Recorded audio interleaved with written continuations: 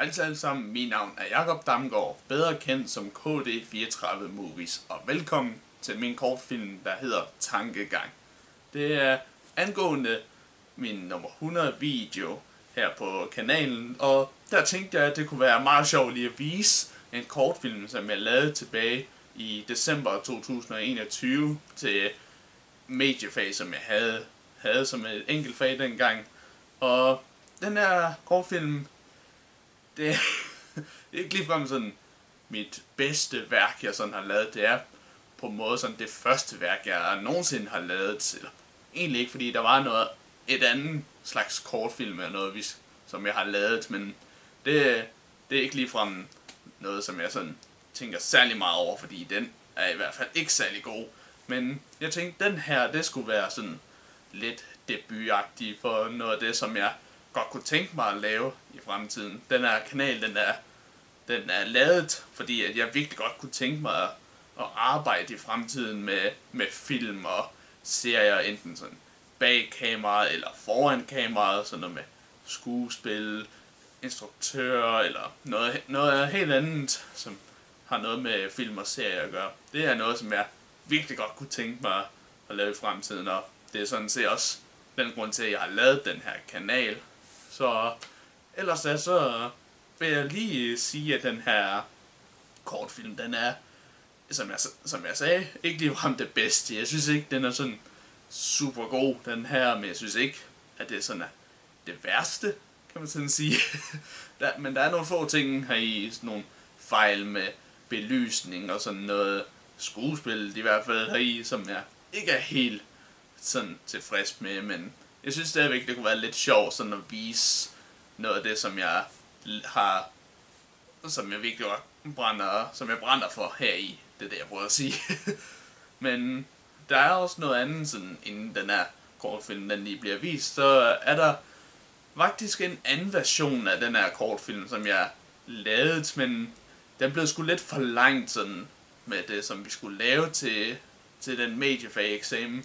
Men jeg har tænkt på, at hvis det her det er noget, som I godt kunne tænke jer at se, så vil jeg med glæde prøve at lave en slags director's cut af den her kortfilm. Det her det er på en måde en slags theatrical, eller sådan i hvert fald en original øh, version, der er blevet udgivet, kan man sådan sige. Men det, jeg har en anden version af den her kortfilm, som blev desværre for langt for, til det, som den blev lavet til, men hvis det er noget, som I er interesseret i, så vil jeg med glæde prøve at lægge den op her på et eller andet tidspunkt. Men ellers da, så var det alt, som jeg vil sige. Og ellers da, så håber I vil nyde den her kortfilm. Det her er Tankegang.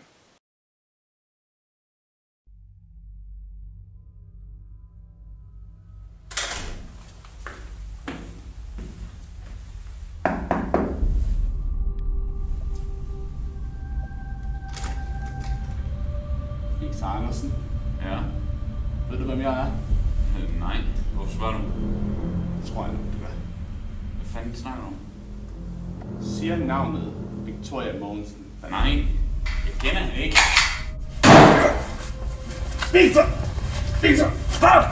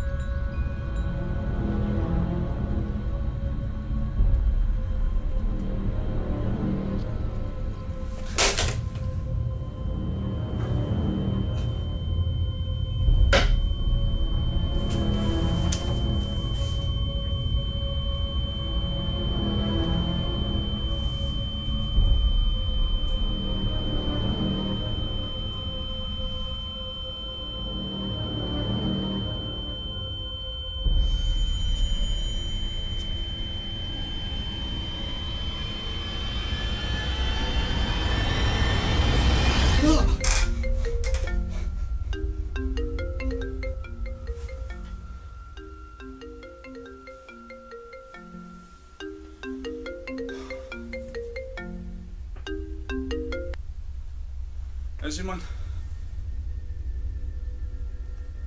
Hvad mener du? Nej, jeg ved ikke, hvad du snakker om. Hvad er der foregår? Hvilken video? Jeg har ikke sendt nogen video. Ja, jeg er seriøs. Jeg har ikke sendt nogen video. Simon? Simon?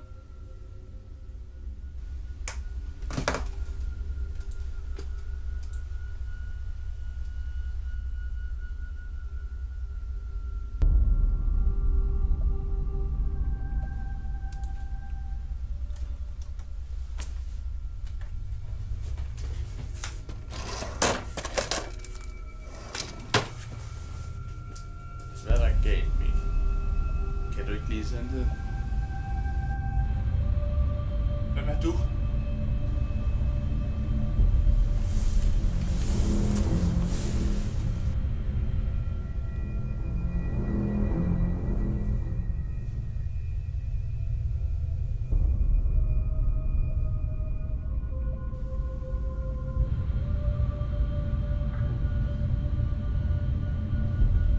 Hvordan kan det lade sig gøre? Du kan ikke være mig. Det er jeg heller ikke. Jeg er ikke ægte. Jeg er dine tanker, Mikkel. Jeg er sandheden, som du prøver at skjule. Okay, stop nu. Det er det dummeste, jeg nogensinde har hørt. Står du og siger, at du er inde i mit hoved? Ja, Mikkel. Og jeg er her for at få dig til at leve med sandheden. Okay, hvis du ikke snart stopper med det her, så skal jeg... Gør hvad? Skyde mig? Ja, hvis jeg skal...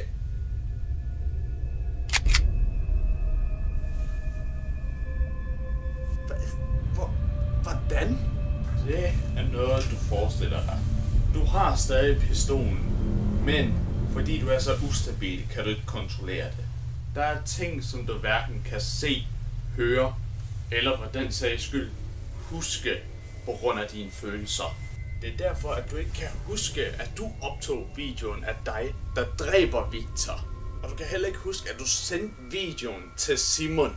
Alt det kan du ikke huske, fordi du tænker kun på én ting. Hævn. Fortjent. Han slog Victoria ihjel. Det betyder ikke, at du skal skjule for sandheden. Du bliver nødt til at leve med det, der er sket, ellers kommer du aldrig videre i livet. Jeg kan ikke. Jeg kan ikke leve med sandheden. Jamen, det bliver du jo nødt til for helvede.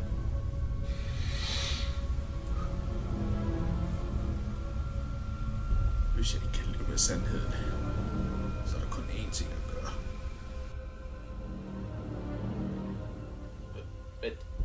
Mikkel, stop. Vent, nej, der, der findes en anden løsning. Mikkel, stop! Mikkel, stop! Mikkel, stop! Ikke gør det! Mikkel!